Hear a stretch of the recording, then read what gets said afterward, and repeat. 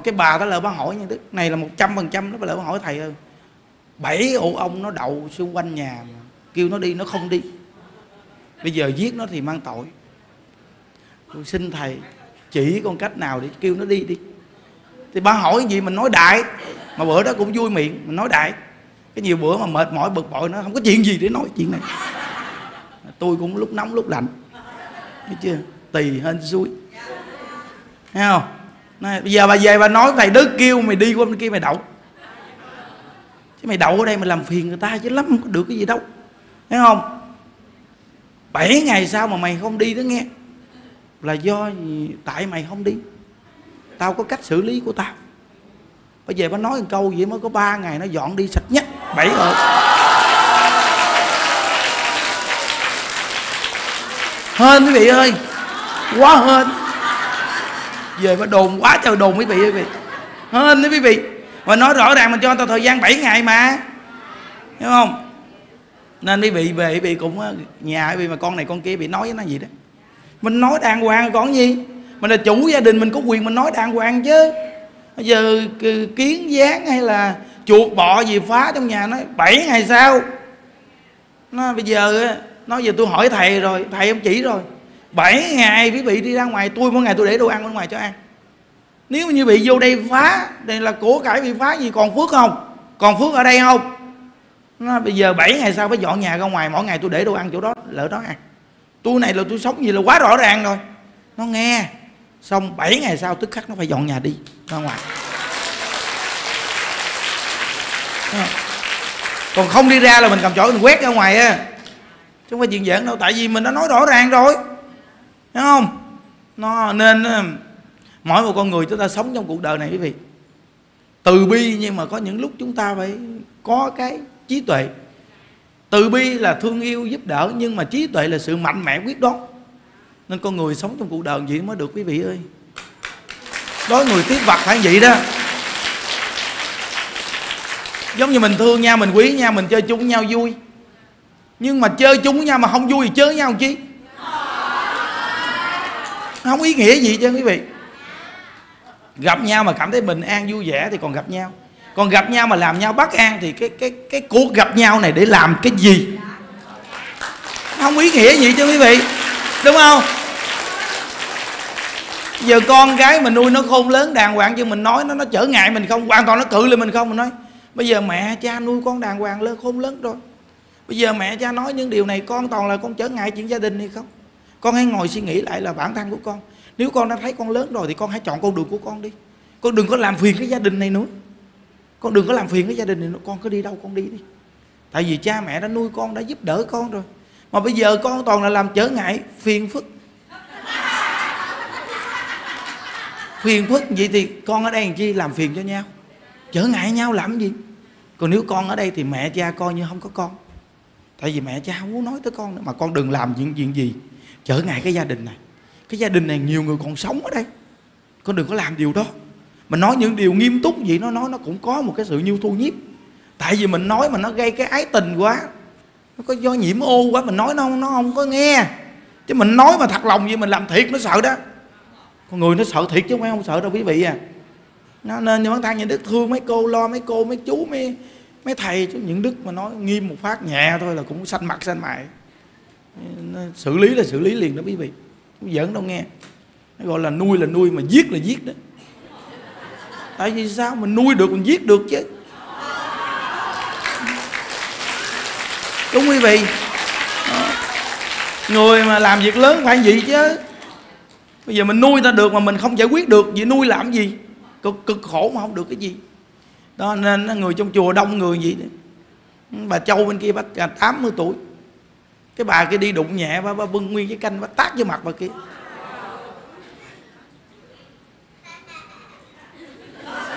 Xong rồi những đức nói với cái bà bị tác cái canh vô mặt đức nói cái nghiệp duyên của bà. Thì sao bao nhiêu con người bà không tác vô mặt mà tác mặt bà Thấy không?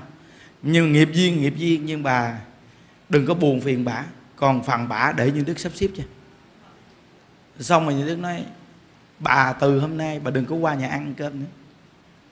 Bà đi vô cái phòng phương trượng một mình mà ngồi trong đó đó. Thấy không? Tự kiểm điểm mình ba bốn ngày trong đó đi.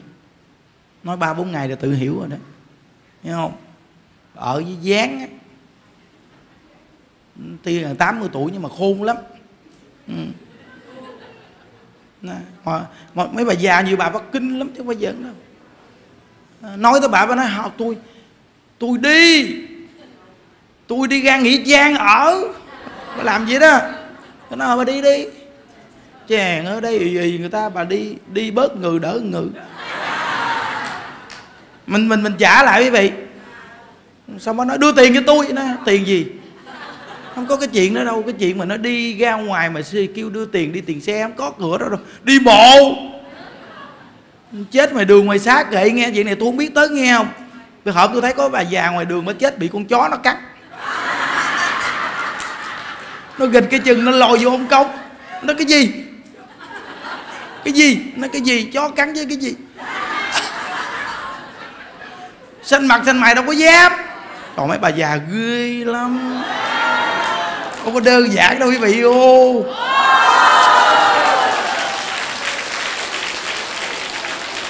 Nuôi con người không có đơn giản đâu quý vị. Bây giờ nhiều người đặt câu hỏi đó, sao thầy đức nó kinh khủng cái chuyện sao nuôi người ta đông dữ hay à?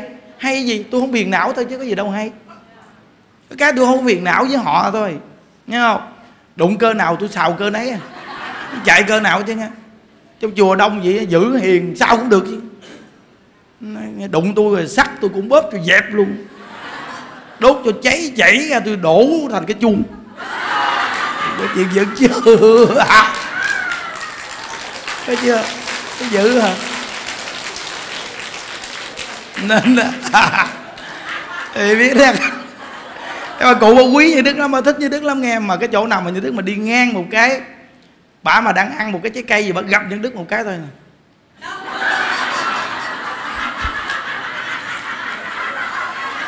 nhưng đức thấy, cái ngậm cái miệng gì hoài cho đức biết thì đức là bộ đứng hỏi. Chơi gì đó, hỏi ở này hỏi kia. Hỏi xong phải trả lời đi, trả lời đi, cái gì đâu mở miệng nó gớt với táo xuống.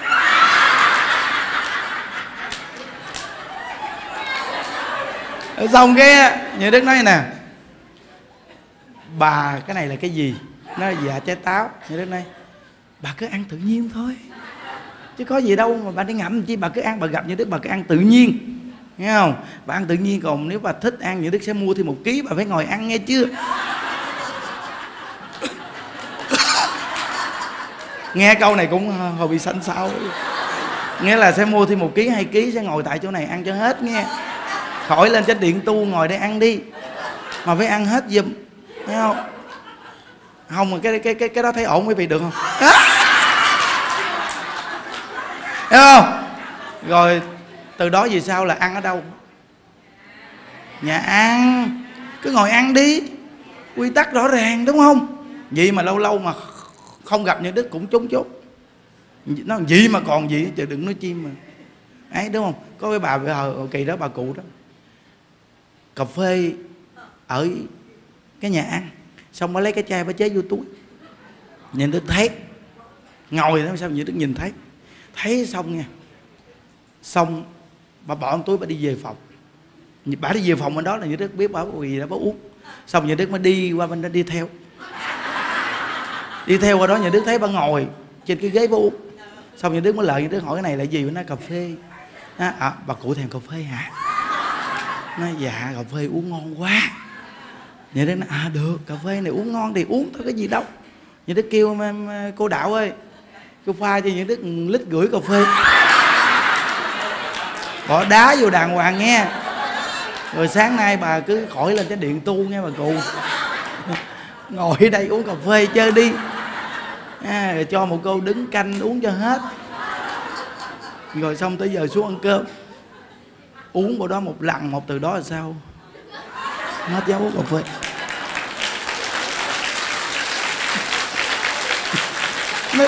Quá dễ quý vị. Trả lại thôi quá thoải mái mà đúng không? Mà mà mấy vị thấy gì thấy thoải mái không? Quá thoải mái rồi đúng không?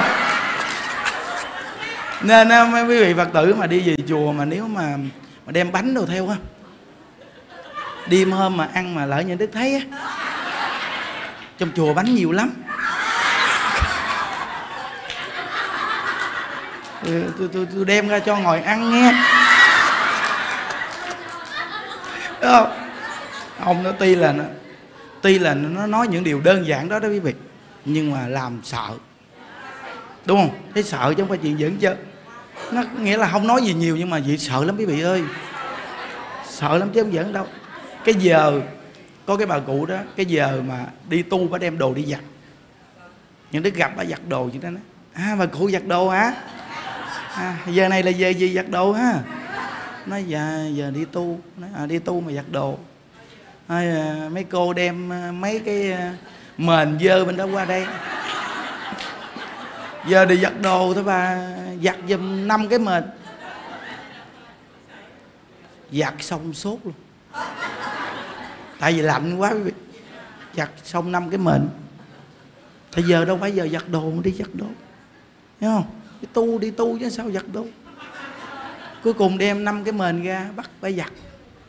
Giặt xong năm cái mền sốt. Lạnh quá chịu không nổi. Vì thấy trả lại thấy đẹp quý vị. Đó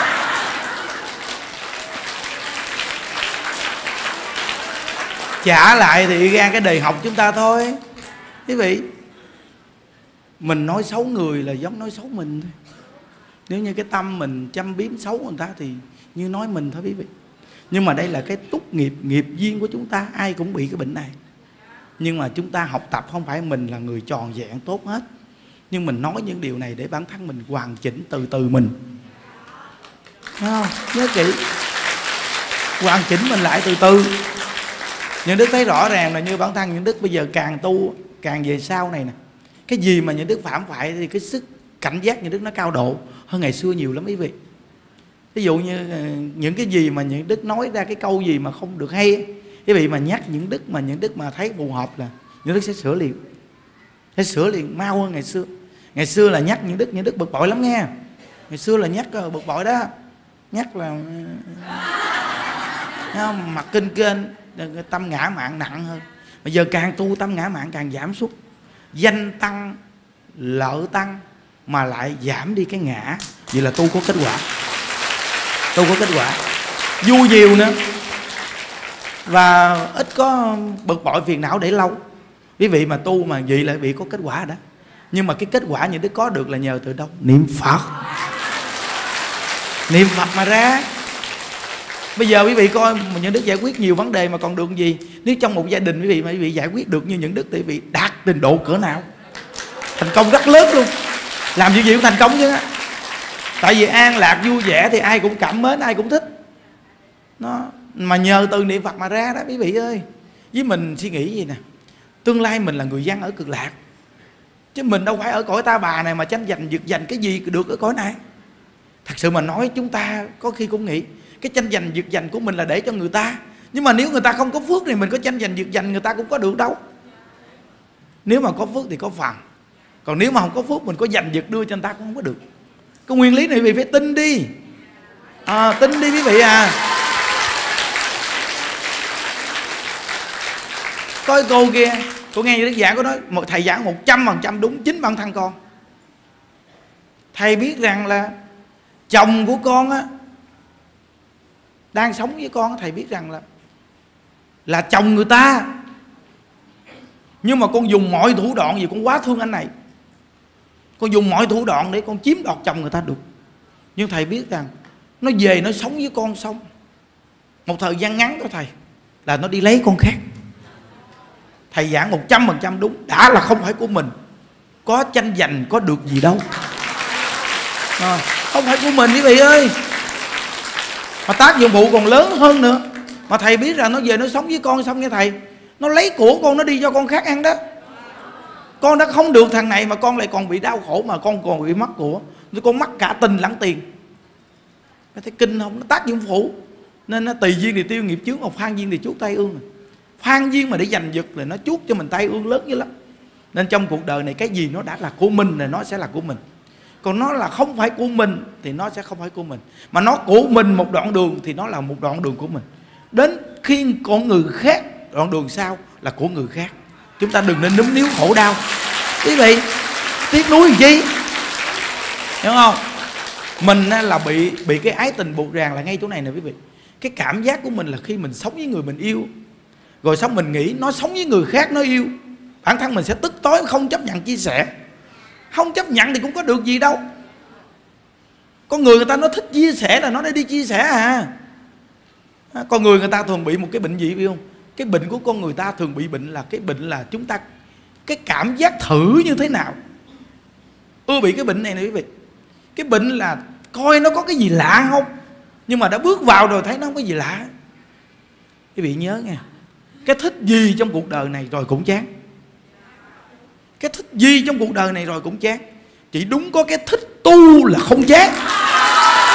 À, lạ. Thích tu sẽ không chán. Chắc chắn quý vị luôn. Tại vì thích tu nó sanh pháp lạc mà cái pháp lạc nó sanh nó sanh tất cả pháp. Thì nó cảm thấy tự tại vô cùng. Vì học Phật đến một cái trình độ nào mà quý vị cảm giác mà sanh pháp lạc ấy, thì bị sẽ thích Phật pháp. Thích Phật pháp cực kỳ thích luôn. Thấy Phật pháp quá hay hay đến mức mà bản thân chúng ta nghĩ một ngày nào mình thăng tàn ma dạy không được gì ta vẫn sống có niềm vui. À, vì sao? Vì chúng ta có được Phật pháp rồi. Thật sự mà nói cái câu có Phật pháp là có tất cả đó quý vị. Có Phật pháp là có tất cả đó. Còn quý vị mà không có Phật pháp quý vị có có tất cả thế gian này thật sự không có gì.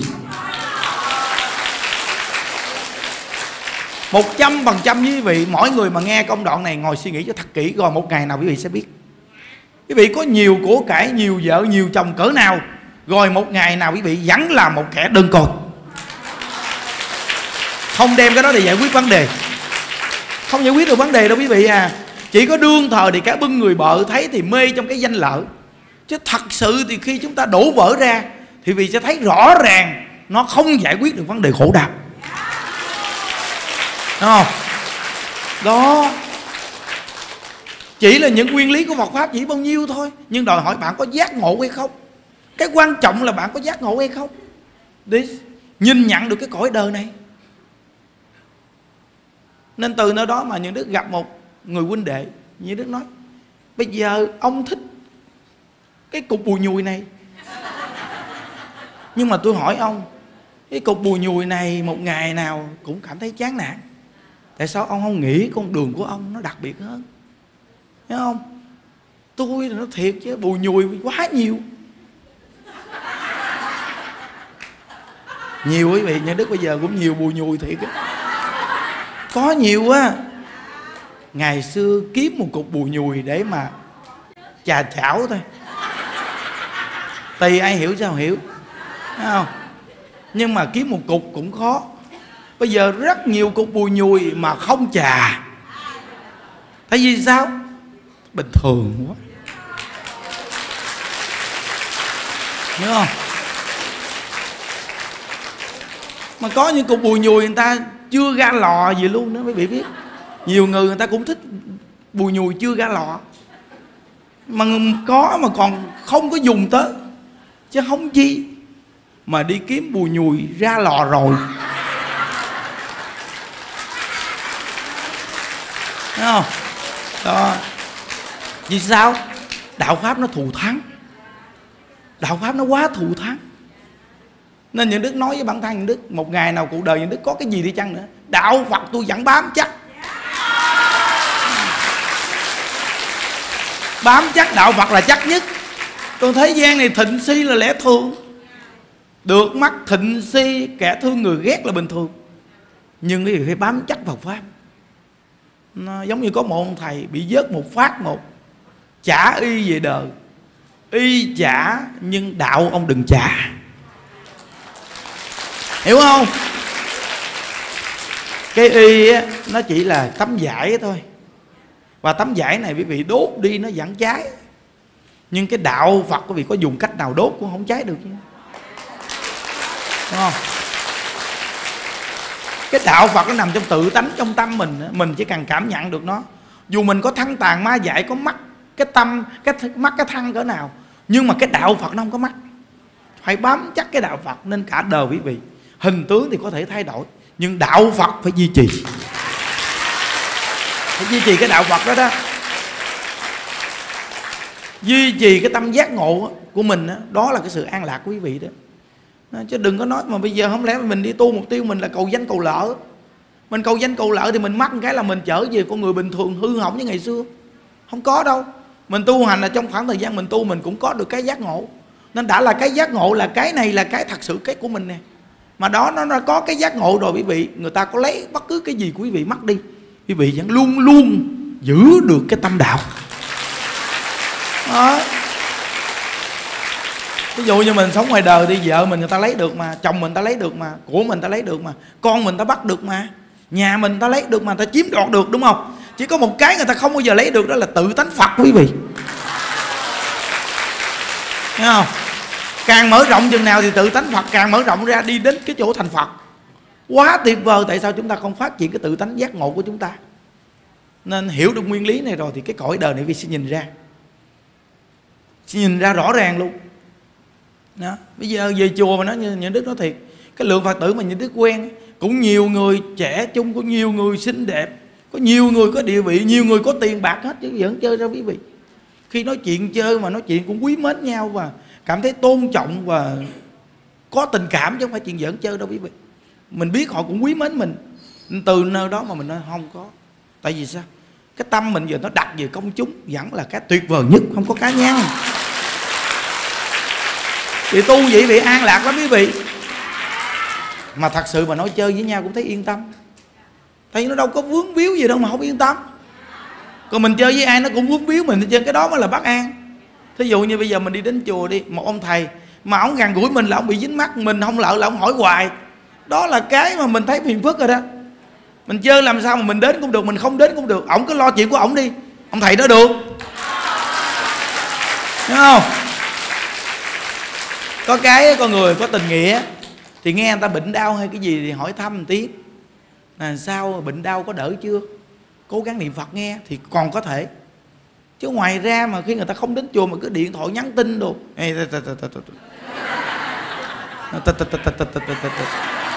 nguy hiểm quý vị ơi nên trong cái thời cuộc này những đức nói như không xài điện thoại là người tu mà dùng điện thoại khéo léo là đúng là quá hay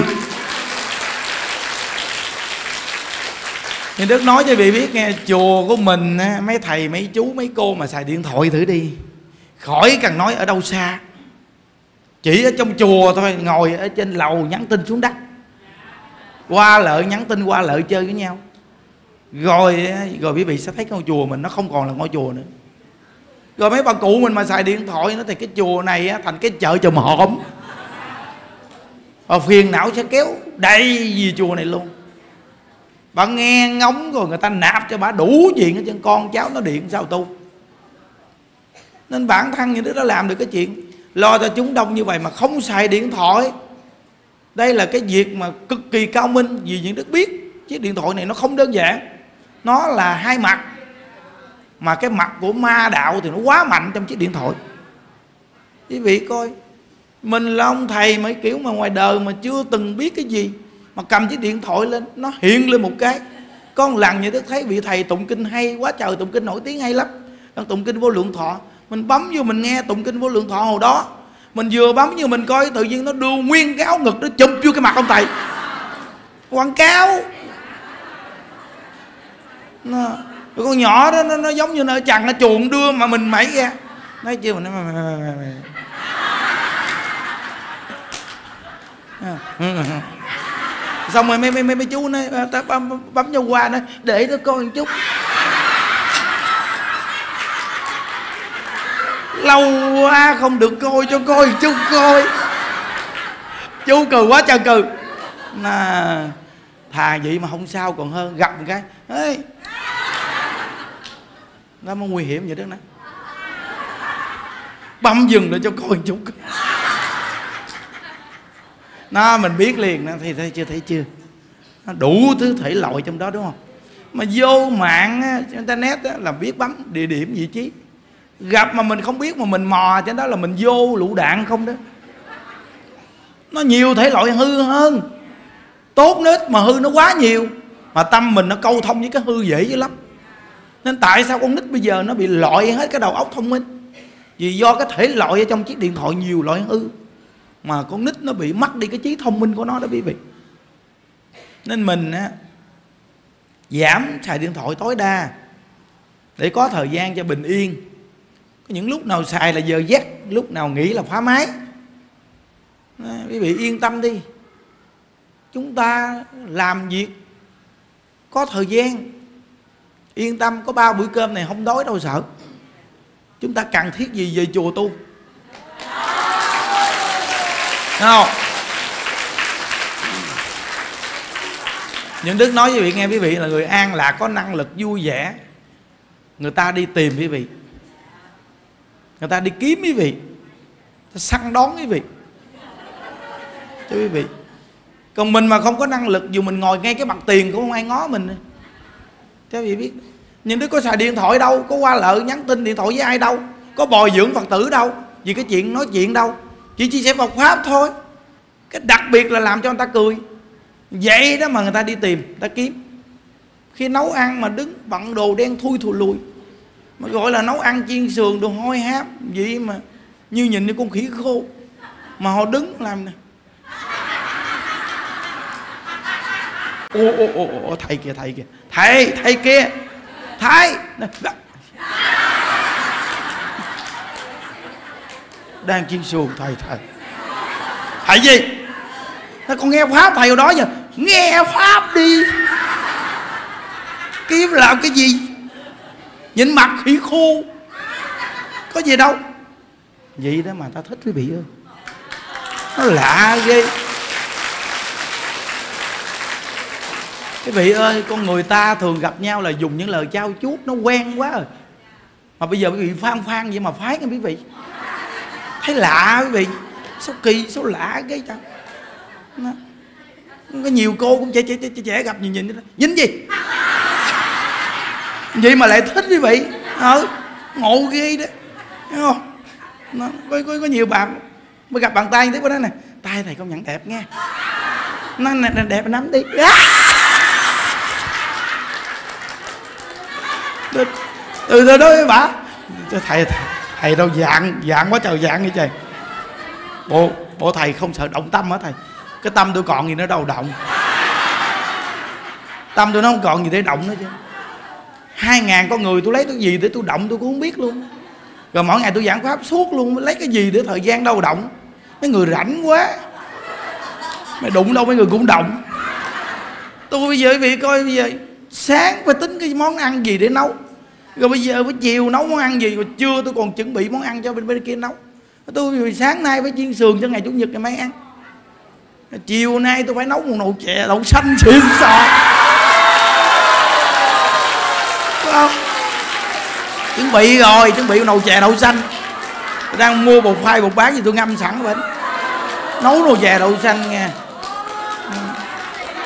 Xịn sò nấu một đường khoèn đàng hoàng muốn ăn thanh tao không? Chiều nay thứ bảy bên kia ăn chè đậu xanh. Nấu đồ chè đậu xanh cho biết. Mua 15 kg nước dừa. Tôi nấu chè đậu xanh, tôi nấu xong rồi tôi đem xuống tôi mới chế nước dừa vô. Có nhiều cô chùa nói, thầy ơi, đậu xanh, nấu nước dừa, phải chế nước dừa lúc mà trên trên lòi. Thế nó dở quá. Nước dừa để làm gì? Béo. Mà chế sớm quá, nó chín quá, nó bay mùi hết, sao còn béo? Không kinh nghiệm chút nào. Nó gì biết. Tôi nó nói chuẩn bị không? À, quý vị coi lên chia sẻ học pháp với nhiều người người ta nói thầy chia sẻ học pháp gì đâu chàng? Có học pháp gì đâu? Chứ ông muốn học pháp gì? Học pháp gì? Cái quan trọng là người ta thích nghe thôi chứ. Đúng không? Ông chia sẻ ngon quá trời mà có mấy người coi đâu tôi chia sẻ gì để mà ta coi đó được không? Quý vị quý vị coi bây giờ pháp là gì? Ăn cơm, ăn chè, ăn kem. Cái pháp thì gọi là gì? Pháp nhân sinh.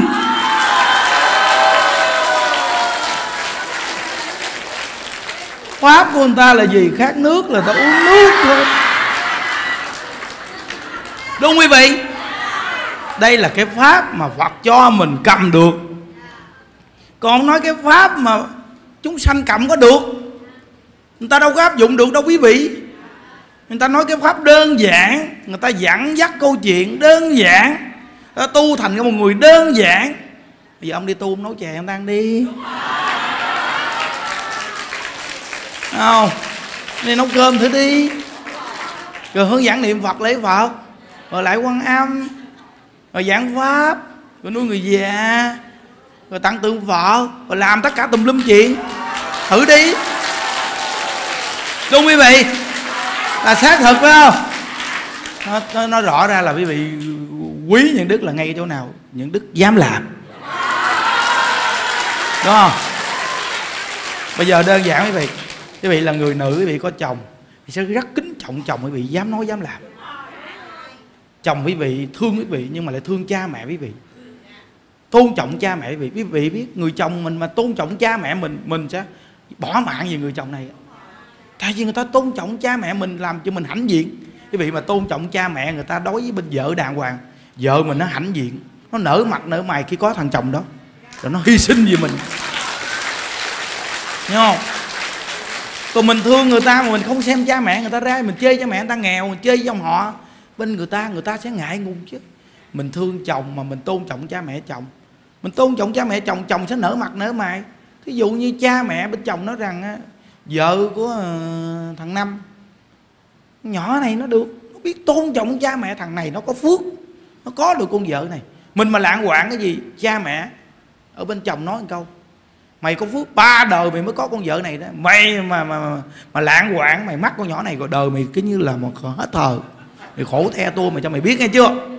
Dù cỡ nào nói câu nói này, chồng mình cũng suy nghĩ kỹ lắm, không dám đó quý vị. Tại vì sao? Có phước mới có được con vợ này. Biết tôn trọng cha mẹ chồng, sống biết tình nghĩa với anh em, bên chồng đàng hoàng. Chuyện nhà mình là quan trọng. Còn người ta lâu lâu đến nói một hai câu có ăn thua gì đâu không? người ta đến mình đãi một buổi cơm có ăn thua gì. Còn đi lỡ nhà người ta có nói gì đi chăng nữa, mình cũng về nhà mình sống nên chúng ta hãy đúng cái vai trò mình mà sống cho đặc biệt vì mình là người khôn. Đúng không? Đừng có đi chăm chích cho anh em người ta bắt hòa mình ác lắm. Mình là đàn bà vậy là đàn bà gắt, gắn độc. Tại vì sao? Chăm thọt cho anh em người ta bắt hòa. Rồi mình nói để mà cho con trai người ta chửi cha mắng mẹ người ta con người mình vậy là đoạn phước đoạn duyên đoạn cái đức của mình nên mình sống gì nó không có đúng. Nói, rồi sau này cái quả báo nó sẽ trả lại cho mình có khác gì đâu. Nên quý vị ơi Phật pháp nó rất là đơn giản quý vị nghe quý vị thấy không? Nó dễ Phật pháp học cái gì? Học sửa đổi lỗi lầm. Ai mà không có cái sai? Ai mà không có sai đây? Chú này giờ chuẩn bị cưới vợ rồi nè. Chú chuẩn bị cưới vợ là chú đang suy nghĩ một cái kế hoạch cho cuộc đời của chú nhưng mà mình bây giờ biết đạo, biết tu, không cần suy nghĩ kế hoạch cuộc đời chứ. Chỉ cần hai vợ chồng sống với nhau hạnh phúc, chỉ cần tôn trọng với nhau thôi. Giàu nghèo gì cũng sống cho vui. Rồi lay rai đi chùa, đó là cái kế hoạch đẹp nhất của cuộc đời chúng ta đó. Bao nhiêu người sống trong cuộc đời này khi vừa đến với nhau là kế hoạch một gia đình, kế hoạch sự nghiệp, họ có được gì đâu chúng ta kế hoạch cho sự hạnh phúc bằng niềm vui và cái bình an của mỗi ngày. Đó là kế hoạch tương lai đó. Chúng ta đừng nên à, đi theo cái bước xe của người khác, sai lầm quá. Nó làm cho mình à, có một gia đình, có vợ, có chồng là có thêm cái gông cùm vào cổ. Mình nặng nề chứ vậy? mình nghĩ rằng bây giờ à, mình có một mình mình làm không được bao nhiêu có thêm vợ nữa hai người cùng làm khỏe hơn. Thì nó, nó đặc biệt quá. Mình nghe vậy thì tự nhiên nó nhẹ nhàng. Còn cái này mình đi mang gánh nặng chi à tự nhiên mình làm chồng phải gánh nặng vợ vợ phải gánh nặng chồng gia đình. Làm gì mà tự nhiên mình phải gánh nặng dữ à? Chúng ta mỗi người đừng có gánh cái gì quá nặng. Thì đó mới là sự nghiệp của cuộc đời chúng ta. Thấy không? Trong chùa này tôi làm thì tôi làm chứ quý vị thấy tôi có gánh nặng đâu. Tôi không gánh nặng tôi mới vui nè tôi mới tự tại nè chứ nếu mà tôi gánh nặng trong công việc này là làm sao tôi chia sẻ bọc pháp cho quý vị nghe gì được? Làm sao tôi có nụ cười được? Không có nụ cười đâu quý vị ơi. Mỗi ngày mà làm mà bận tâm nặng nề, làm sao chia sẻ bọc pháp lên toàn là nói nặng nề không đó. Nó rồi lo đủ chuyện chứ bây giờ có tiền thì nấu chè, không có tiền thì khỏi nấu chè. Có gì đâu mà nặng nề. Đúng quý vị. Những đức nói cho vị nghe nghe, chúng ta mà thương quý, tôn trọng nhau, dù một ly nước lạnh mà uống cũng cảm thấy vui nữa quý vị đúng không? Có chè thì càng tốt. Đúng không? Đặc biệt hơn chứ. Tùy tùy viết nó nó giống như bây giờ ly nước uống gì đó. Không có nhiều cô nói tụi con uống miếng ở thầy. Có bữa đó uống còn miếng nước nhiêu bà đã chạy lại bà uống. À, uống xong mà đưa cái ly luôn còn giọt uống luôn. Nghĩa là người ta quý trọng rồi nó lạ kỳ quý vị ơi nên từ nó đó, lạ kỳ vậy thế trong cái cõi đời này vì vị sống mà sống mà để cho người ta thương là hạnh phúc nhất. Sống mà để cho người ta ghét là sự bất an. Bất an đấy quý vị mấy mươi năm cuộc đời ngắn ngủi lắm quý vị ô. Đúng không? Đúng mấy cô? Không mà nhà đức thấy mấy cô đi đến chùa mình càng ngày thì đức thấy mấy cô càng sáng sủa, càng đẹp đó chúc mừng mấy cô. Tu hành mà sáng sủa là có nghĩa là tu hành có kết quả đó. Thì tướng do tâm sanh. Cái tâm mới bị an lạc, nó hiện cái tướng được. Còn nếu cái tâm mới bị buồn gầu, nó héo hon đó. Để nhìn có ai héo hon?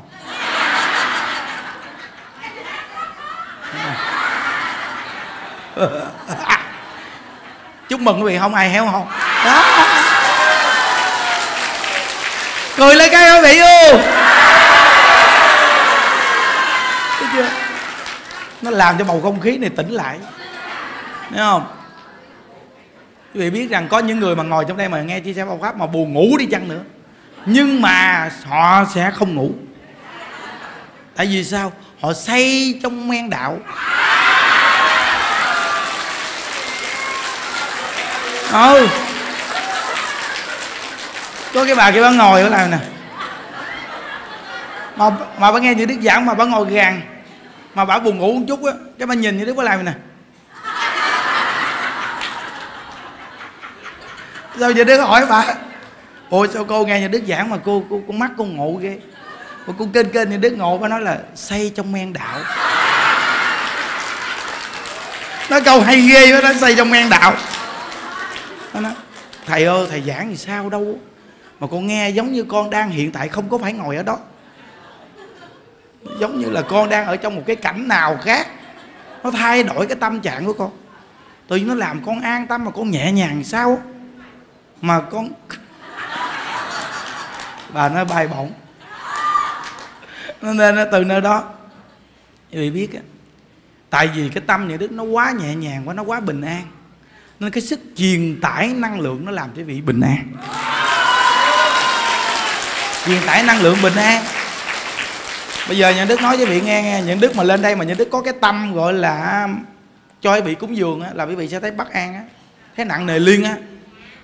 Nhận đức đâu có cái tâm này đâu. Quý vị biết nhận đức mà giảng pháp nhận đức nói cái chương trình làm này kia là nhận đức nói lên vậy đó để cho ai làm thì ta cùng làm. Chứ nhận đức không có nặng nề cái chỗ đó. Nên vì về chùa mình bị thoải mái lắm. Nó không có cái cái nặng nề bận tâm với chùa có xây dựng hay cái gì chăng nữa, quý vị cũng không có bận tâm cái chuyện đó nữa. Tại vì sao? Mình nghĩ rằng là làm việc cho phật bồ tát thì thì sẽ có không người này cúng, có người kia cúng à. Lo nặng nề chỗ này, đúng không? Mà đây là những đức mới tu thôi nghe quý vị, mà những đức còn có được cái cảm giác thoải mái gì? Chứ những người mà tu lâu thì người ta an lạc cỡ nào?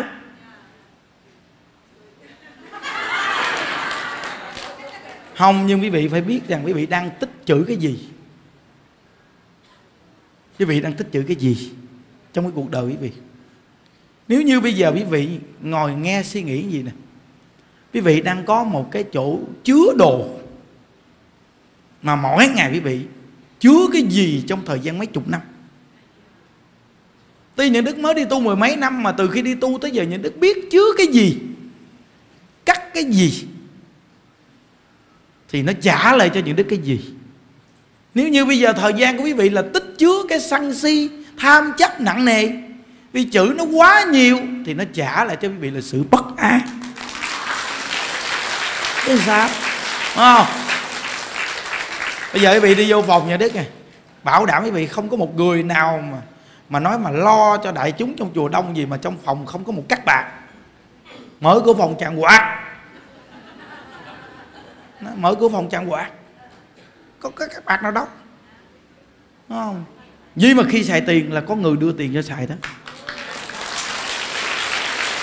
Thấy không?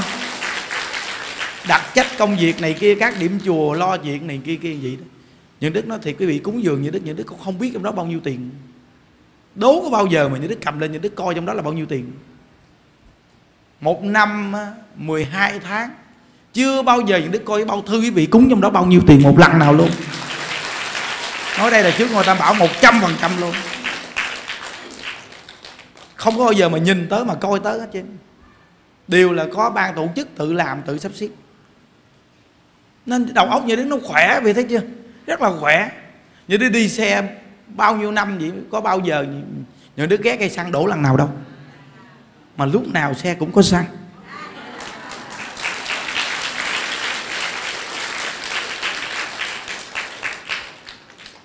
Từ khi đi tu tới giờ, dài dép đồ này kia, tức khắc sẽ có người mua hết. Vì thấy như vậy thì nó quá tự tại rồi. Chấp nhất nặng nề cái gì? Còn cái đồ gì ai cho mình mà mình thấy mình không phù hợp xài thì đưa liền cho người khác xài. Nên phòng những đức ít có những cái đồ lưu niệm. Không có. Có lưu niệm là có dính mắt. Thấy không? Mà có những cái rất là đơn giản mà những đức lại để nghe nên quý vị đừng bao giờ mua cho những đức cái gì mà gọi là xịn sò.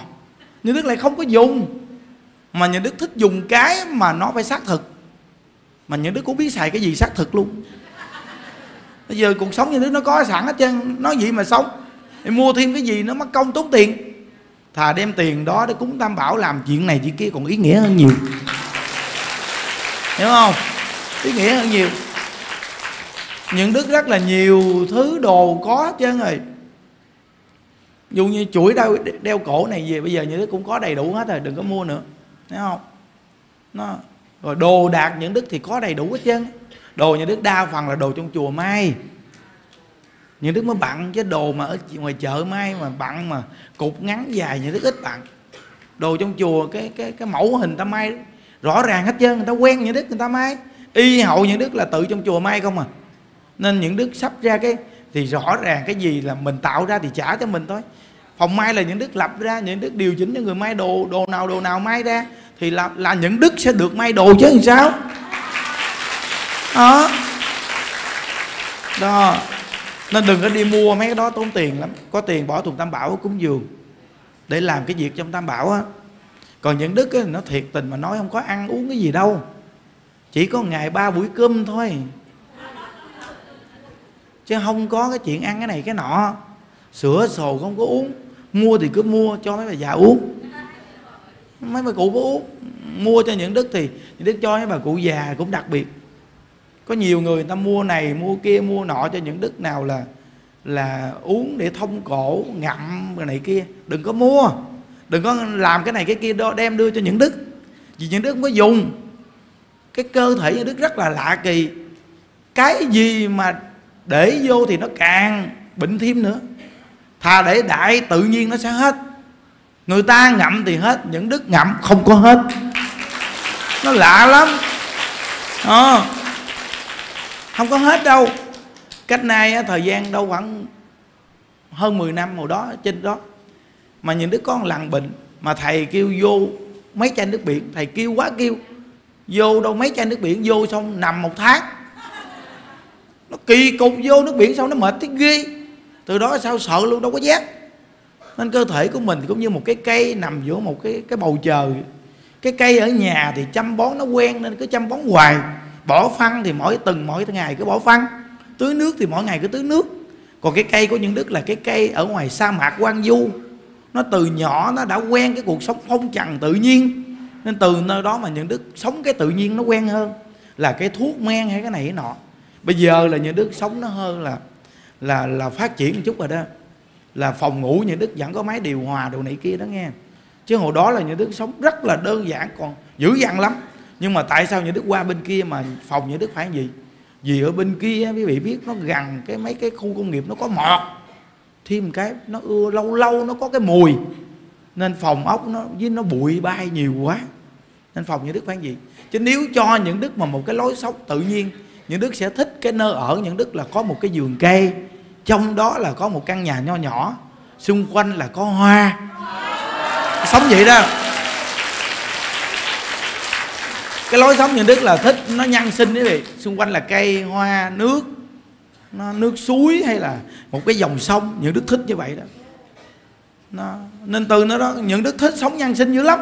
Không có thích sống trong cái hoàn cảnh bị bó buộc nó nên có một lần những đức ngủ mà những đức nằm mơ những đức thấy là mình có một cái ngôi chùa, mà ngôi chùa lớn dữ lắm mà nó nằm ở trong một khu rừng. Mà phía trước đó là một con sông. Mình nói mình ngồi giảng pháp mà người ta nghe đông quá trời đông. Mà nói, chàng ôi sao mà mình có cái ngôi chùa mà nó giống như trong tâm mình? Suy nghĩ tới người ta dứt mình thức dậy mà còn cười. Không? nên quý vị à trong cái cuộc đời của người chúng ta, dù là mơ mộng nhưng nó đẹp vẫn thấy thích thú hơn, là chúng ta không có một cái giấc mơ đẹp nào trong cuộc đời. Thật sự mà nói, cuộc đời của người chúng ta chúng ta từ đây đi về thế giới cực lạc cũng qua nhiều cái sự khó khăn lắm. Nhưng mà chúng ta nghĩ cực lạc nó quá đặc biệt, chúng ta cứ nói với mình, thôi thúc mình, chỗ đó nó đặc biệt chứ lắm, nó đặc biệt chứ lắm thì mình sẽ cố gắng vượt qua những cái gian nan của cuộc đời đi đến nơi đó. Thế quý vị, giống như bị đi học cũng vậy thôi. Mình nghĩ mình tương lai mình làm được bác sĩ mà bác sĩ mình nghĩ bác sĩ là một người đẹp lắm. Bác sĩ là một con người có cái tâm lượng như thế nào đẹp lắm. Thì chúng ta mới cố gắng học để chúng ta làm bác sĩ. Chúng ta học để mà làm thầy giáo, chúng ta nghĩ là cái vai trò của thầy giáo là một tư tưởng mô phạm, đặc biệt đặc biệt tuyệt vời lắm. Nên chúng ta mới cố gắng học để làm thầy giáo cô giáo chứ nếu như chúng ta nghĩ học rồi đi đến cái chỗ đó để làm cái thằng đó, con nhỏ đó là không có ra trò chống gì, học làm gì, nó đâu có cảm giác gì đâu. Nên mỗi ngày tại sao chúng ta nhớ ai cho đạo Phật nhớ Tây Phương Cực Lạc? Vì chúng ta nghĩ cái thế giới cực lạc nó quá đặc biệt, Dù cái ý nghĩ này chúng ta chưa thật sự được thấy. Nhưng đây là chỉ một cái sự mơ mộng của chúng ta thôi. Nhưng mà còn hơn là không biết gì để mơ mộng. Đúng quý vị đó. Nên chúng ta phải cảm nhận điều đó nó tuyệt vời Nó đặc biệt. Thì quý vị nhất định cái cuộc sống quý vị nó, nó, nó nên thơ lắm. Thật sự mà nói con người mà nó phải có một cái gì đó mình nghĩ nó là tốt đẹp trước mặt của mình. Nhưng người ta đói khát mà người ta nghĩ rằng một ngày nào ta sẽ giàu thì con người người ta sẽ sống trong cái sự đói khát mà nỗ lực lên. Còn hơn là con người chúng ta mỗi ngày sống giống như chết đứng như sống nghĩ rằng cuộc đời mình là vô vị sống không bao giờ có một tương lai gì cả. Thua rồi. Cuộc sống gì thua rồi? Nghe không? Lớp 3 nè. Mà còn vượt lên được chính mình. Để bây giờ có được niềm vui. Nghe không? Nên từ nơi đó mà quý vị biết. Sống nó phải có một cái mơ mộng gì đó mà đặc biệt để mà hướng đến mục tiêu chúng ta bây giờ mơ mộng là gì? Thế giới cực lạc. Mày bị nhớ nghe bị mơ mộng cái thế giới cực lạc á là cái phước duyên đó nó bao trùm những cái sự an lạc của cõi đời. Ồ oh, hay lắm. Có cuộc. Có phước báo. Sống chơi ở cõi này. Sống cho thấy ta ngưỡng mộ mình chơi nhưng chúng ta đừng bao giờ cho nó là thật. Thấy không? Có chồng đẹp trai, sống chơi, cho vui. Nhưng một ngày nào nó không có đâu. Có của cải, có danh lợi. Sống đặc biệt cho người ta ngưỡng mộ chơi. Chứ không có gì chứ nha oh. trong cuộc đời này mình mà tu hành, mà mình, mà nói là mình mình hà khắc với mình mà để khổ á, người ta sẽ không bao giờ nhìn mình người ta tu đâu từ khi là mình không có gì thì mình chịu. Không có gì thì chịu thôi. Còn nếu như cuộc sống quý vị mà có cuộc sống ổn định, vui vẻ thì quý vị nên sống cho đặc biệt. Có dư ra thì chia sẻ bớt cho người. Nhưng chúng ta phải sống cho đặc biệt. Không? sống cho đặc biệt. Vì thấy cái cách chia sẻ bọc pháp của những đức, quý vị sẽ thấy rất là thoải mái. Tại vì sao? Vì trong hoàn cảnh nào quý vị cũng sẽ đặc biệt hết chứ. Bây giờ bây giờ mình nghèo nhất, mình xấu nhất, mình lùn nhất luôn.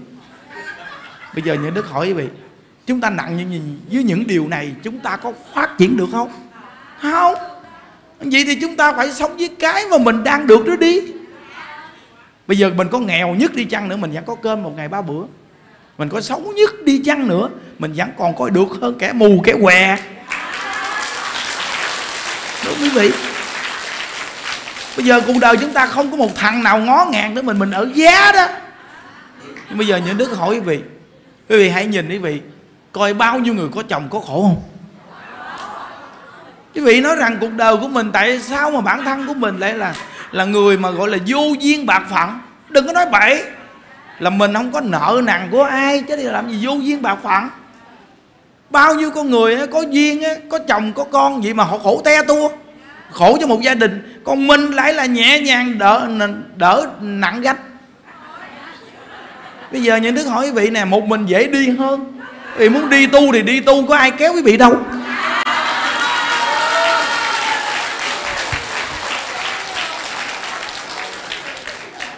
Có cái bà đó, bà đi đến chùa bà tu, mà bà gặp như đức bà nói một câu nè. Con đi đến đây được vì sao? Con quá trân quý thầy. Thầy biết rằng ở nhà bóp tay, bóp chân cho chồng, hầu hạ nó đặc biệt rồi xong sáng được đi chùa.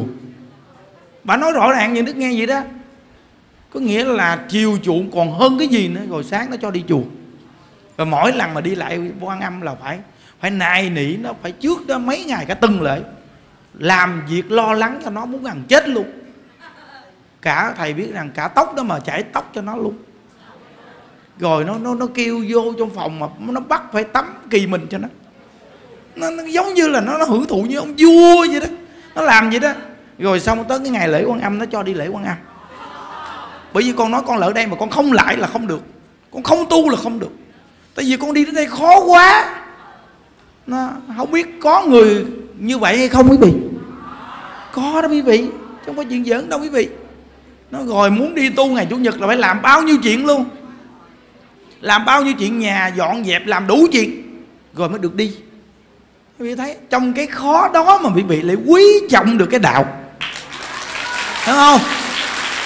Có cái mà quý trọng được cái đạo. Nên Phật Thích Ca Mâu Ni, Ngài động viên mình, Ngài khích lệ mình, Ngài nói rằng, Này các con Các con hãy chịu khổ, Chịu khó một đời ngắn ngủi thôi các con. Nên mình cứ suy nghĩ vậy đi. Mình cứ suy nghĩ Đức Phật nhắc mình là, Các con hãy chịu khó, chịu khổ một đời ngắn ngủi thôi. Nó quá ngắn ngủi, quý vị ơi, là quý vị. Bây giờ những Đức nói, Bây giờ năm những Đức ra xa gia đình năm 18 tuổi. Bây giờ những Đức 43 tuổi rồi thì bây giờ quý vị coi, phải là thời gian nó đi đến tuổi già. Thì cái cuộc đời khổ này nó vô cùng ngắn ngủi. Quý vị ơi, trong cái cuộc đời của người chúng ta đó, dù cái khổ đau gì cũng có thời hạn được thoát. Nhưng chỉ có một cái loại khổ đau mà chúng ta khó thoát vô cùng, đó là gì? Tình cảm.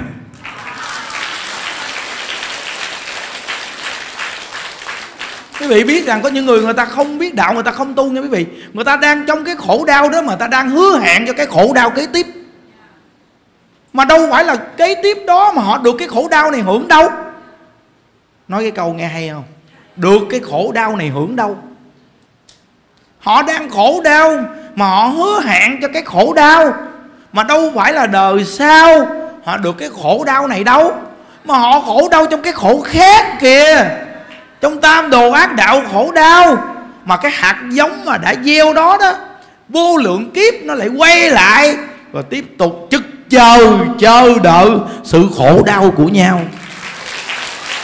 Kinh chưa? Nên Đức Thích Ca Mâu Ni Ngài khuyên câu đó là khuyên cho những người niệm Phật, người tu Mà gặp sự chướng ngại khổ đau Nghịch duyên trong sự tu hành. Ngài mới nói cái câu là các con hãy chịu khổ một đời ngắn ngủi này thôi. Hiểu không? đỡ ngắn ngủi này thôi nghe chưa nghe chưa nghe chưa? Bây giờ trong cái trở ngại gì phải nhớ câu ngắn ngủi thì thôi. Qua ngắn ngủi đúng không quý vị? Nó nó, cái sự khổ đau ngắn ngủi đó mà Phật ví dụ trong kinh nói rằng, cũng như là một giọt sương vậy cũng như là một ánh chớp vậy đời người thì nói là mấy chục năm, chứ thật sự thì nó đã qua không biết bao nhiêu lần của đời người rồi rồi chúng ta cũng tiếp nối sẽ đi qua đời người. Nếu như chúng ta không biết trân quý đời này. Nếu mà nhận thức được thì những cái bài giảng này quý vị sẽ sẽ thật sự quý vị sẽ kéo chân lên mà gác lên chán để mà suy nghĩ luôn. Ví dụ coi, từ đời ông bà cha mẹ chúng ta từng đời đi qua, cứ qua một đời, cứ qua một đời, qua một đời và tới ta sẽ qua một đời. Ta đi đâu và họ đi đâu đó mới là cái đặt câu hỏi. Ta đi đâu và họ đi đâu? Dù có tình thương gì đi chăng nữa, nhưng mà giống như là chung đường mà khác lối. Chung đường là gì? Vì sống với nhau thì phải hòa hợp, giống như chung đường. Nhưng tâm tu mọi người khác nhau nên khác lối. Đúng không? Nên từ nơi đó mà chồng vợ mình chưa hiểu đạo gì nhiều, chưa chưa hiểu gì nhiều khi sống với nhau thì bắt đầu họ nói này bao nhiêu lời ăn tình mình. Nhưng trong bụng mình nói vậy nè, không có đâu bạn, tao hiểu rồi. Đừng có dụ tao mất công nữa. Hiểu không? Chung đường mà khác lối. Nên có nhiều người nói rằng là bây giờ tôi thương yêu con người này con người này chết đi, tôi phải chết điên chi? Tôi phải chết để tôi gặp họ nơi chính suối. Gặp cái gì mà gặp? Làm gì gặp nơi chính suối. Dù có gặp nhau đi chăng nữa mà nghiệp duyên bất đồng, làm sao còn có thể tâm sự với nhau? Làm cái chuyện tự nhiên, cái chuyện tầm bậy. Sống cái cuộc đời này gặp nhau, thương yêu quá, chết đi muốn chết theo để đi xuống đó gặp nhau. Làm cái chuyện tầm bậy, làm gì cái chuyện đi xuống đó gặp nhau? Cái vị lo bị hành ngục, đau khổ, te tua, tả tơ còn đầu óc đâu mà để gặp nhau, nói chuyện gì, tâm sự gì? Sao tâm sự được? Lo bị hành ngục te tua kìa. Làm như là có thời gian được như trên đây mà gặp nhau nói chuyện. Ở trên đây là trong cái cõi này mà chúng ta có khi còn không có thời gian. Vợ chồng nói chuyện được nhiều với nhau này. Không biết lo cho cái gì mà tối ngày đi sớm về khuya. Có khi có nói chuyện được mấy câu đâu nói chuyện cũng không được nói nhiều với nhau nữa, quý vị. Nó đi làm mệt về mà nó ịt ngang nó ngủ. Có nhiều bữa mình trông chờ muốn chết mồ luôn. Vì mà nó về nó ịt ngang nó ngủ, nó không nói tiếng gì. Viết mình thấy công nhận mình cảm thấy cô đơn ghê. Bởi vì tôi coi thầy được. Thấy không? Bởi vì tại sao phái nữ người ta quý nhân đức nhiều như vậy? Vì cuối cùng, quý vị ơi, người ta lại không được ai tâm sự. Có chồng mà không được tâm sự nhiều mà có tâm sự có khi nó cũng không phù hợp, để cởi mở giùm cho mình được nữa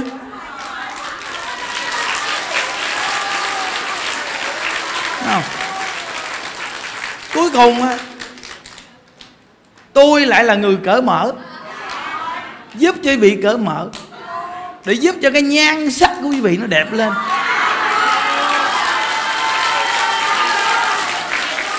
Thấy không? Bây giờ nói câu thế gian giúp cho mấy bà nhan sắc đẹp lên cho mấy ông hưởng. Mình làm kiểu này là nó thật sự mấy ông phải công nhận là mấy ông phải cảm kích tôi. Đúng quý vị. À, bây giờ giải tỏa tâm tư giúp cho vợ mấy ông vui vẻ an lạc. Không có cái chuyện đụng chạm gì nghe. Rồi coi được rồi ngon lành mấy ông thấy ngon lành được rồi mấy ông hưởng.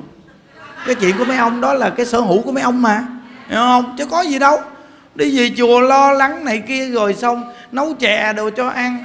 Rồi bắt nhạc lên, được chơi vui vẻ, mấy bà vui vẻ xong, bà trẻ mấy bà đẹp xong, về mấy ông. Đúng không? Vậy mà còn không cho đi chùa hả? Thấy không? Vì công nhận không? Mà quý vị thấy rõ ràng từ khi quý vị học Phật tới giờ nghe Đức giảng tới giờ bị cởi mở tâm tư mỗi lần. Chia sẻ là mỗi lần được cởi mở. Đúng không? Nhưng bây giờ mà mẹ của chú tâm nhiên mà bả càng ngày bả càng trẻ. Tại sao bà trẻ? Bà nghe pháp ba an lạc bà trẻ chứ làm sao? Hiểu không? Nó, hôm kia gặp cái bà ung thư ở đồng tháp bà lên. Nhìn bà mà ai biết bà ung thư đâu. Nó nói, thầy ơi, lúc trước con vừa bị ung thư, nghe thầy người ta chỉ con ăn cách này cách kia, con ốm o gầy mòn, xanh sao vàng giọt nhìn vô tấm gương con nói mày chết. Trong lòng con không còn một sức sống gì nữa chứ, thầy khi con nghe một buổi giảng của thầy thầy nói ung thư thì ung thư, ăn uống đàng hoàng cho mập mạp lên. Nhìn coi được một chút thì có sự tự tin về chính mình hơn. Cuối cùng bà nghe, bà nói không, phải nghe ông thầy này thôi, phải ăn ăn chay đồ, ăn uống cho đàng hoàng. Cuối cùng mà ăn uống đàng hoàng uống sữa đồ vô. Mập mạp lên quý vị xong mà nghe khóa viên đứa bà cười lên, bà nói bây giờ con hiểu rồi. Thì ra lúc trước con cho ung thư là kẻ thù.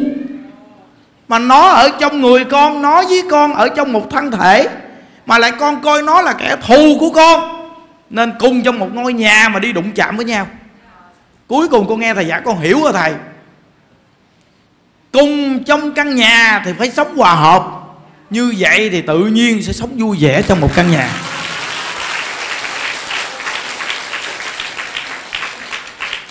Tác động của chúng ta làm cho mình bị bệnh đau bụng ung thư. Ta lại cho nó là kẻ thù để muốn hủy diệt nó.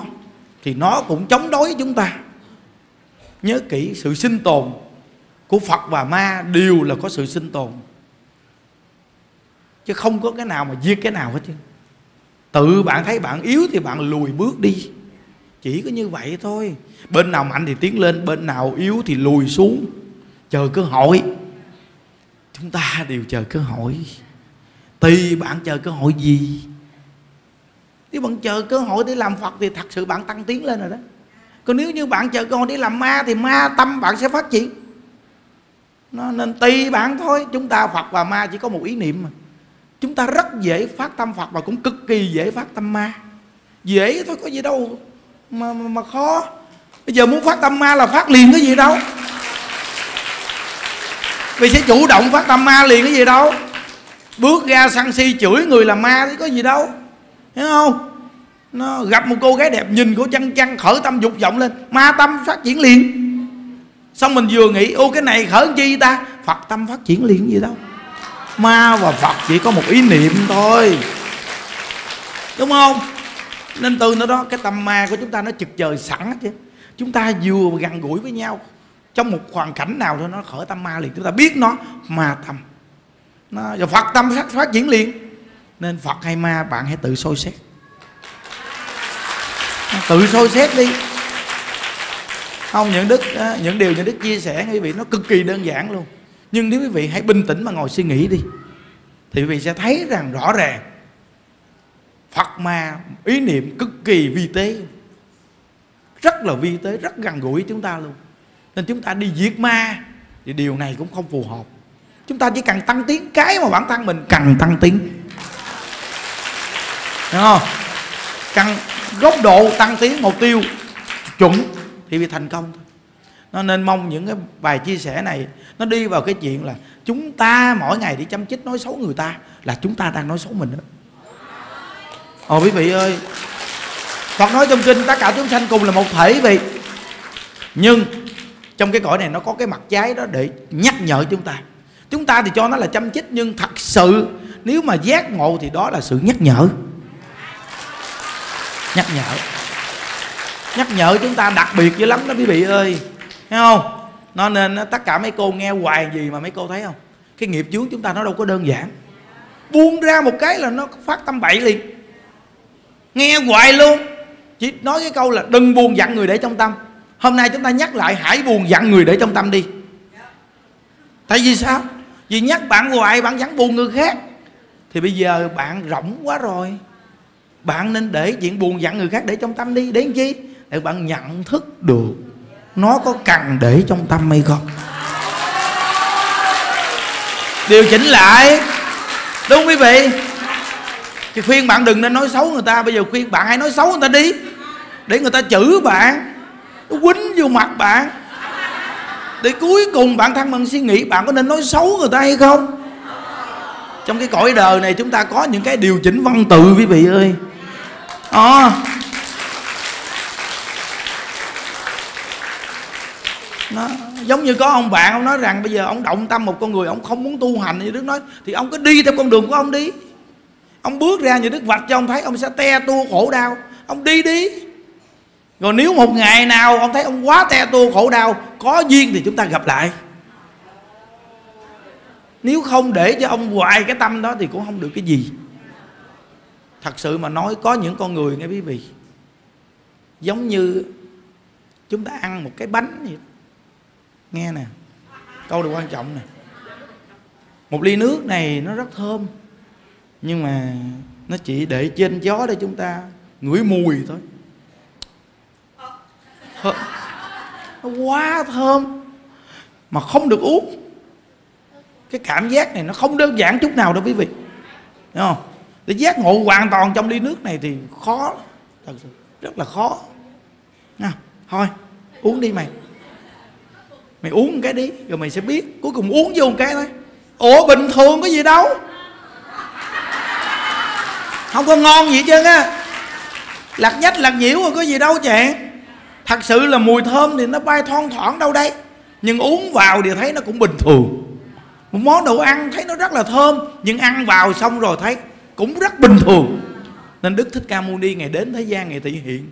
Ngày dùng bánh xong hết trơn ngày đi tu.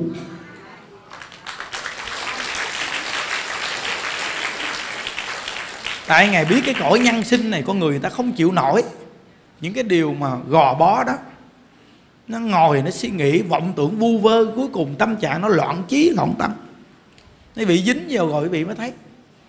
Mà bản thân chúng ta dự dính vào rồi thì vượt ra không được cái khổ đau của cõi ta bà này nó kinh thì không dính vào thì ngồi suy nghĩ, suy tư. Dính vào rồi thì khổ đau của sự chối buộc khổ đúng là quá khổ. Thấy không? mà sự khổ đau này nó làm cho mình cái gì? Sự khổ đau làm cho mình cái gì? Nó làm cho mình cảm nhận được khổ đau để hướng đến giải thoát. Cảm nhận được khổ đau đi hướng đến giải thoát. Thấy không? Nên á, tất cả mấy cô đồ muốn buồn ai cứ buồn đi. Cứ để trong tâm mà chịu. Cái để vô trong tâm nghe. Rồi để trong đó đi rồi suy nghĩ cần để hay không. Đúng không? Chúng ta cần chăm chích ai thì chúng ta cứ chăm chích đi chúng ta cứ cho họ đi. Chê bai họ đi. Rồi chúng ta cuối cùng chúng ta sẽ lãnh quả báo gì? Rồi lúc đó chúng ta sẽ nhận thức thôi quý vị.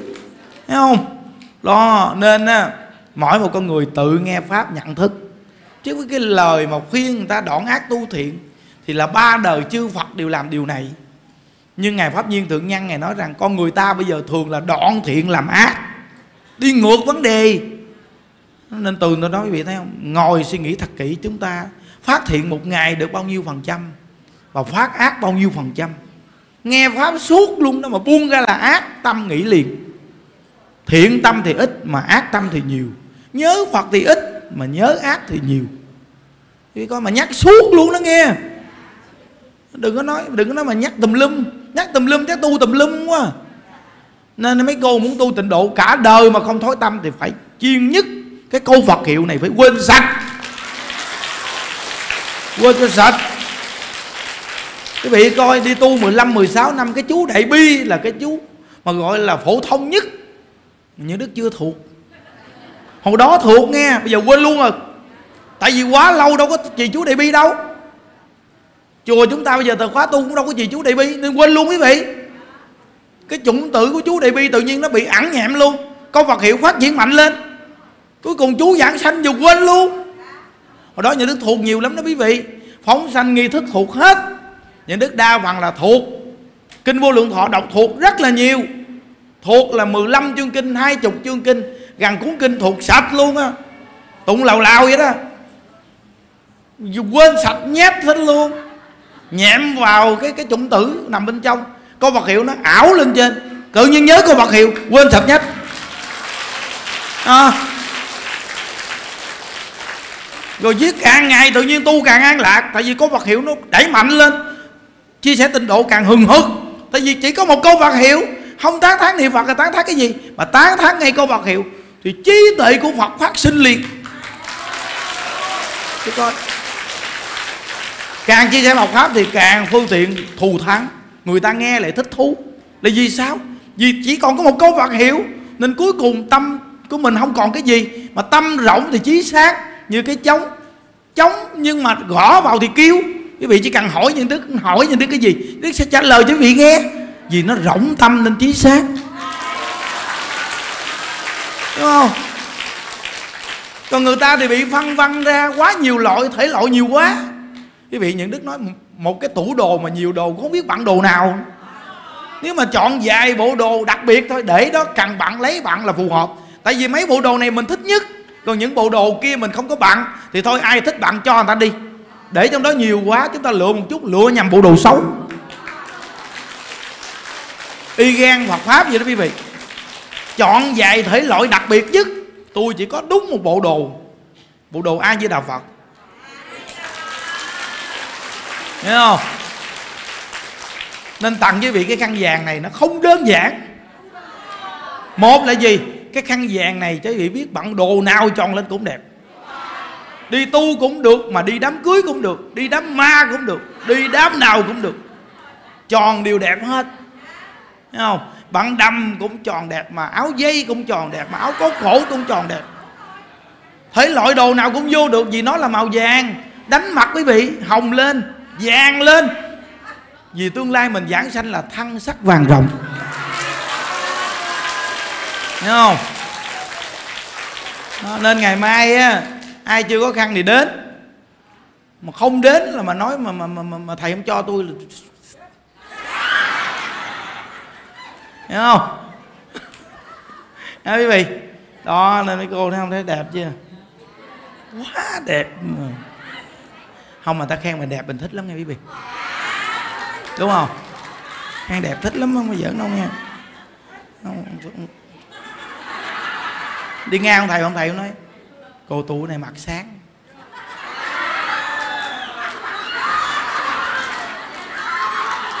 Sáng quá trời sáng. Ờ, ừ rồi đi ngang thầy thầy nói, cô này sao mặt tối quá? Vô duyên gặp người ta chê mặt ta tối. Biết tu sao mặt tối? Tâm sao đó, người ta nói ta vậy.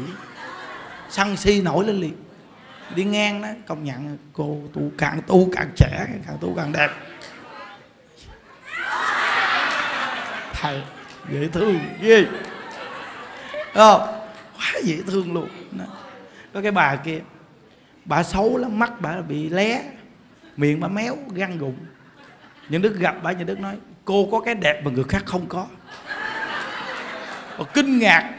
Chàng chàng hồi đó giờ chưa từng ai nói con một câu nói này luôn đó thầy người ta chỉ nhìn cái ngoại hình bên ngoài của con, mà người ta chê con thậm tệ.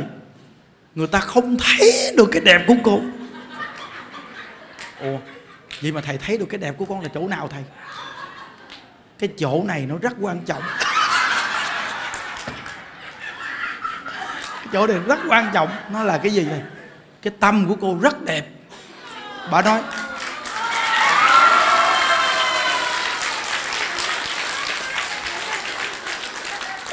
thấy không? Nên bà nói. Ủa cái tâm ở đâu thầy? Các mà chút nó là cái tâm cô đẹp nó là ủa mà cái tâm nó nằm ở đâu thầy? Nhà đức nói cái tâm là cái bộ đồ lòng của cô á.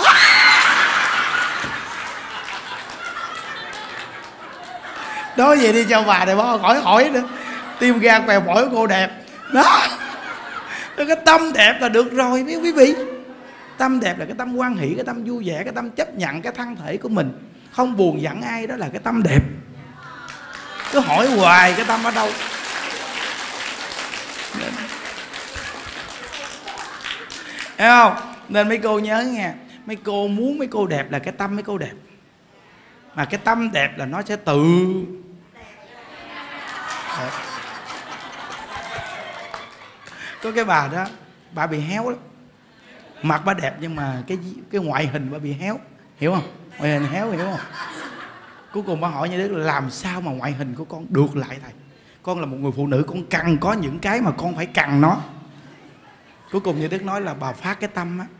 Bà biết cái tâm nó nằm đâu không? Nằm đây nè. Và phát ở đây nó sẽ phát triển được nhiều cái tốt đẹp lắm. Vì mà bà nghe lời những đức, bà niệm phật, bà vui vẻ quan hỷ. Một thời gian bà gặp những đức, bà nói, rõ ràng. Nó phát triển thầy. Vì thấy cái tâm đẹp nó hay chưa? Nó nên từ nó đó người phụ nữ mình phải cần phát cái tâm đẹp. Người đàn ông thì nó có nhiều điểm địa điểm nó không cần thiết đâu quý vị. Có những ông mà nó không có cái gì chứ nó cũng là đàn ông cũng được nữa không có sao. Ờ, nó chẳng là nó chỉ là đàn ông là được rồi. Nghe không? Còn phụ nữ người ta có nhiều chỗ người ta cần nó phải đẹp. À, thật sự luôn quý vị. Quý vị thấy tại sao mà người ta mà người ta đi thiết kế đồ đạc chi à? Do mấy bà mà người ta thiết kế đó. Người ta phải làm sao cho mấy bà khoe phan được một số chỗ? Thấy chưa? Vậy thì mấy bà muốn những số chỗ đó mà nó đẹp là phải làm sao? Tâm đẹp. Ngay cái tâm đẹp. Nghe không? Thử đi rồi sẽ biết. Cái tâm quý vị, mấy bà khi đẹp, vui vẻ quan hỷ nghe. Tức khắc nó sẽ điều tiết tất cả những vị trí nào cần thiết tốt đẹp thì nó phát triển mấy bà cần ở đâu tiền với bà? À, à, chắc chắn chắc chắn là mấy cô biết hết. À, một trăm phần trăm nếu mấy cô nhớ Phật niệm Phật quan hỷ vui vẻ đừng buồn giận ai để trong tâm là tâm đẹp. Tâm đẹp thì tướng đẹp. Tâm đẹp tướng đẹp. Có cái bà kia hồi đó với lời chùa mình ngọc nó húp vậy nè húp không có miếng thịt của, của cái, cái má luôn. Nó là chồng con thường chê con là em không có cái mặt để nựng. Nó chàng nó là chàng. Nó, nó, nó, nó cái mặt gì mà nó nó không có cái mặt để nựng. Nó là em không có má. Thấy chưa? Nghĩa là nó héo queo á. Ông người phụ nữ mà nó không có má nó cũng thiếu thốn đó quý vị. Vì người, người, người ta thương mình người ta nựng mình mà không có má. Cuối cùng ba hỏi như đức làm sao con có má? Nó cô không có má sao có cô? Ế không phải thầy cái má mặt á, thầy, chứ không phải là má con. À vậy tưởng đâu của nó không muốn không có má sao có cô. Thấy không? Vậy cô muốn có cà má bự bự chút, đúng không? À dạ dạ. Cô phải cười nhiều. Cô biết tại sao mặt cô héo không? Vì cô không có cười. Vì không có cười mình cứ nó tốt lại, nó tốt tốt lại, đúng không? Mà khi mình cười là nó bết xa mặt quý vị thấy chưa? Thấy chưa? Thấy chưa? Này nè nó phải sao mặt thấy chưa? Nó làm lâu ngày má bị mềm mà. Những đứa bốn ba tuổi mà mặt như đứa mềm lắm mới bị ấy nè. Nó, nó cái, cái da thịt nó mềm lắm nghe. Mà ngày xưa cái thời như đức chưa tu năm 27 28 tuổi cái mặt những đức tay chân những đức da cứng ngắc nhưng mà khi mà tu tập an lạc vui vẻ ăn chay niệm phật nghe da mềm lắm. Da mềm sụm mà bây giờ lấy tay gạch một cái là nó muốn chày cái cái cái làn da đó luôn đó, quý vị. Nó mỏng đến mức gì đó. Quý vị biết cái tâm mình nó an lạc á, là cơ thể, tố chắc cơ thể vì cơ địa sẽ hoàn toàn nó có thay đổi tốt đẹp. Nó là lòng lành chuyển tướng thay tên mà. Cái tâm lành chuyển tướng thay tên đó, quý vị. Nên quý vị xấu gì ngoại hình chưa đáng sợ sợ là xấu tâm. Nên quý vị bây giờ phát triển cái tâm thiện lên. Với mình là người phụ nữ, đừng có hung dữ bạo ngược đừng có chửi chồng chửi con chửi tầm bậy tầm bạ chửi tu tiểu. Bây giờ quý vị coi bây giờ quý vị có là một người phụ nữ có đẹp cỡ nào bị buông ra quý vị chồng này, tao nói cho mày biết em phải quý vị coi đẹp không?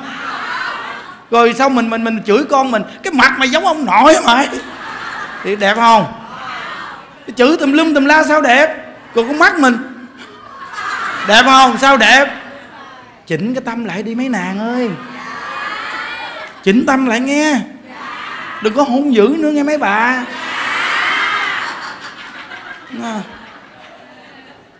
Nói cho mấy bà biết nha. Cái gia đình và cái xã hội này mà nó bình yên hay không là do mấy bà. Đó mấy bà là nằm trong, nắm trong tay nhiều lắm đó một trăm phần trăm luôn. Tại vì mấy bà có một cái khả năng chăm thọt cao độ.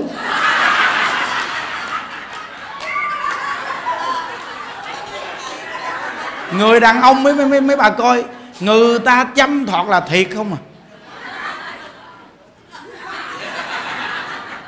Có khi làm cho người khác cũng thích. Nhưng mà mấy bà chăm thọt là ác. Mấy bà đâu có cái gì để chăm thọt. Mà mấy bà đi lôi ra làm gì? Nên mấy bà làm ác. Còn người đàn ông là do gì cái bản năng của người ta là như vậy.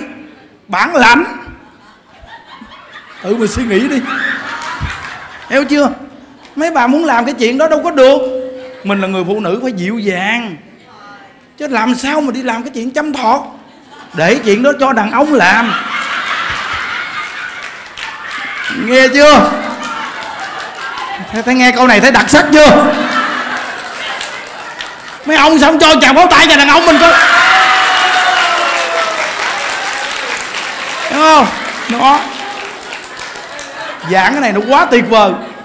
Nhiều ý nằm bên trong mà không ai có thể bắt bẻ được. Thấy không? Cái bài giảng này quý vị thấy mỗi một bài giảng nữa không? Không đơn giản đâu nghe. À, bấm tim. Cuộc đời chúng ta gặp nhau trao cho nhau trái ngọt cho đừng trao trái đắng cho nhau. Quý vị trái ngọt là gì? Cười lên đi. Không cười lên đi cho đời hết khổ quý vị. À, cười lên các ơi. Ha ha ha ha. He he he he. Ha ha ha ha. Rồi chúc vị an lạc vị ơi. Chúng ta nguyện đời này niệm phật để hẹn gặp nhau cực lạc vị ơi. À, chúng ta chắp tay hồi hướng nguyện đem công đức này hướng về khắp tất cả đệ tử và chúng sanh, đồng sanh về tịnh độ.